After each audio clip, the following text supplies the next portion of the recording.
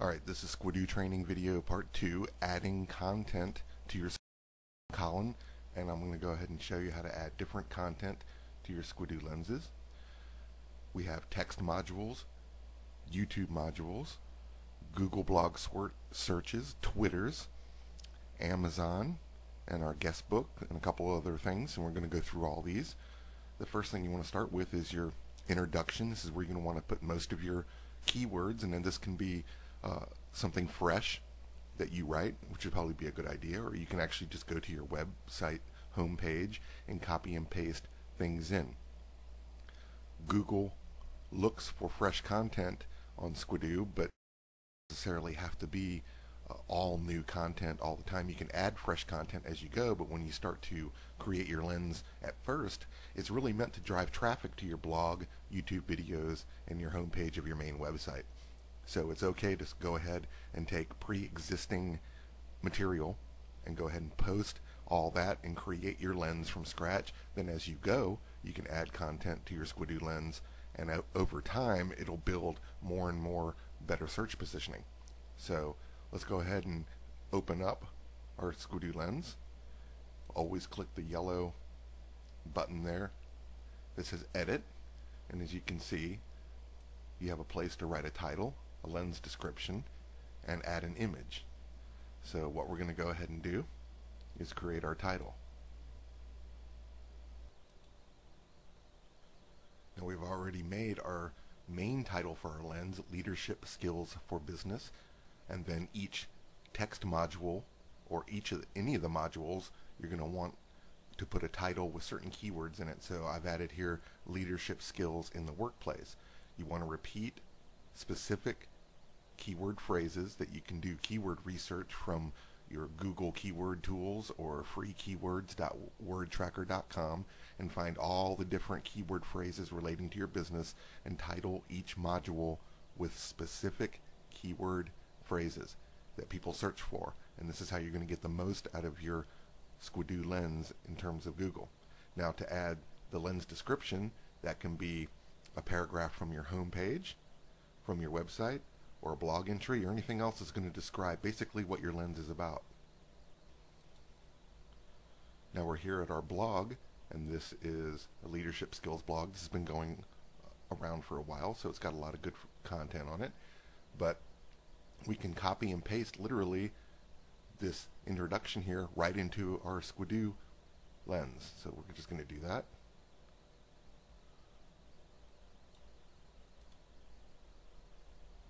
Copy. Go and paste this right into our Squidoo lens and then you can see that all the content for our intro is right here. The next thing we want to do is add an image from our hard drive to our Squidoo lens. Any picture you want. Pictures always help sell your ideas and your material. So we'll want to go to, here's a browse button, and we'll go to that. You can see our pictures here. And we can grab whatever photo we deem appropriate. We'll do this one. Click Upload Photo.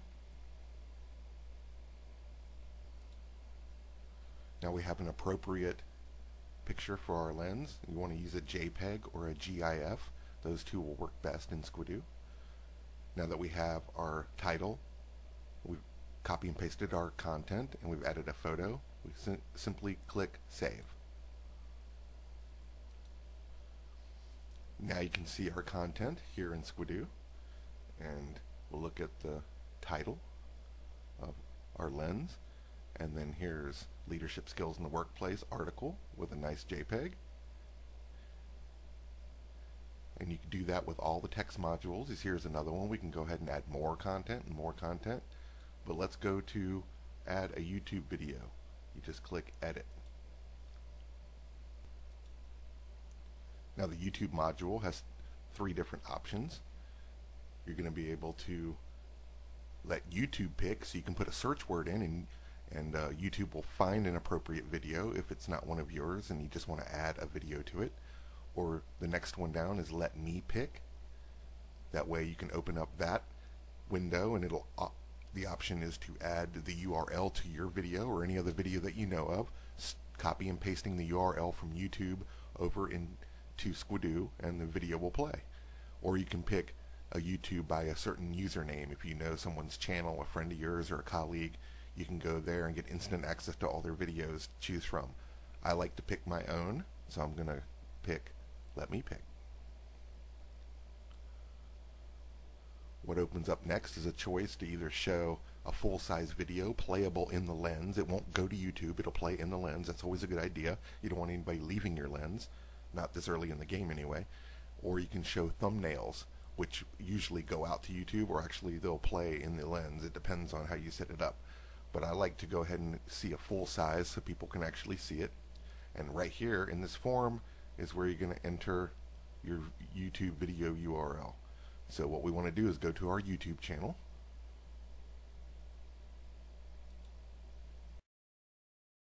Here is our YouTube channel. And you can see this is a video on our YouTube channel. Now the next thing you want to do is copy and paste the entire URL of where this video is sitting and playing straight into your Squidoo lens. So I go up here and copy and paste.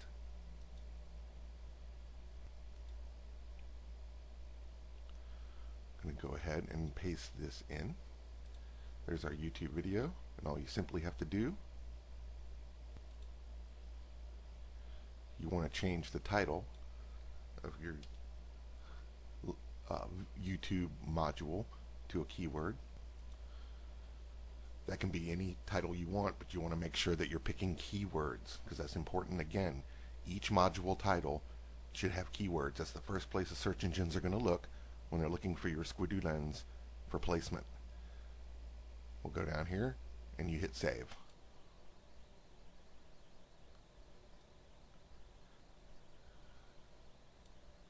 And here is our YouTube video. Now here we have our YouTube video. Look how nice that title from YouTube. We have our title in the module and even all the description that we've written in YouTube all run out with all the information, leave comments, and look, it even plays right in your YouTube video or your Squidoo lens.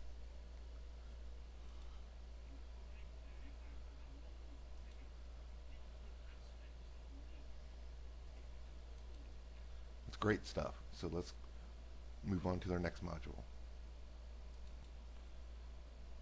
This is our Google blog search. It's blogs about information or news. So we open up the Google blog search and we go down here and we can pick three to display. Headlines, update each day, and then of course you want to put in our search terms. When we're done filling out this information, you always just hit save and it'll load everything for you. Now we have three different blogs with the word leadership skills in it. Each one of these is clickable out to the blog post itself. So that's quite interesting and keeps uh, all your viewers on top of all your information. Let's go to Amazon.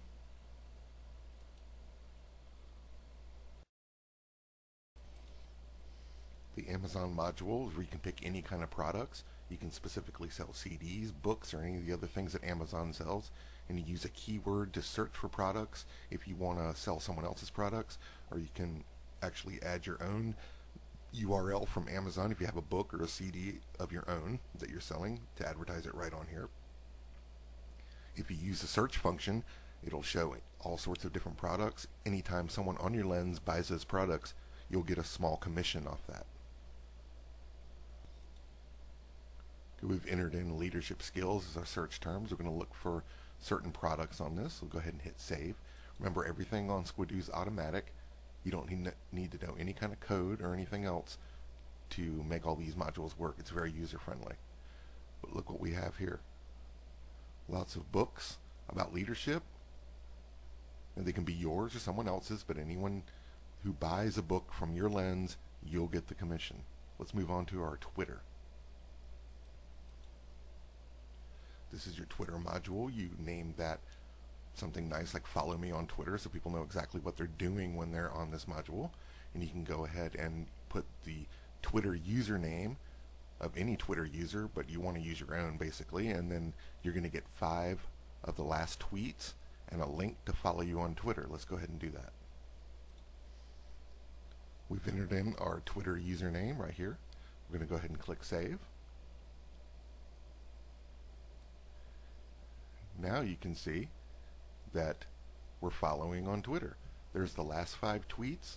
There's the information about my Twitter account, how many followers, how many people I'm following. And there's the username. You click on that, it goes straight out to the account. And that's how you set up your Twitter. And then obviously here's your follow me on Twitter link. When someone clicks to that, they'll open up my account. You can, if you're logged into Twitter, you can go ahead and start to follow this account. That's a good way to get followers on such a popular thing as Squidoo Lens.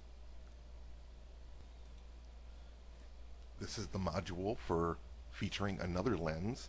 You can feature someone else's lens on Squidoo, or you can feature one of your own. You can add up to five on this lens. I'm just going to do one to show you how. But all you have to do is just go over to add a lens, and you type in the URL to that lens, and it'll automatically show up. Let's see how this is done. Okay, we've added the URL to the lens I want to feature. It happens to be uh, my other client with the number one jewelry lens. So I'm going to go ahead and click Save.